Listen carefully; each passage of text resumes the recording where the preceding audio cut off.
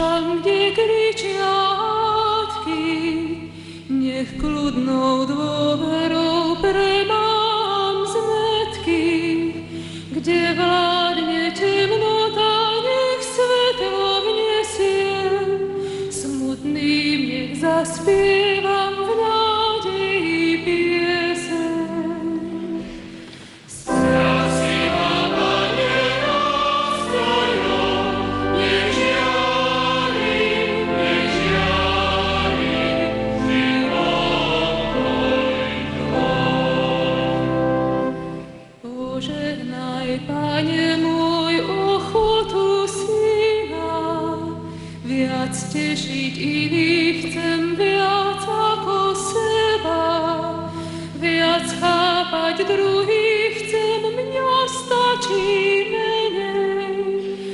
tak blízkych milovať ako Ty, Pán.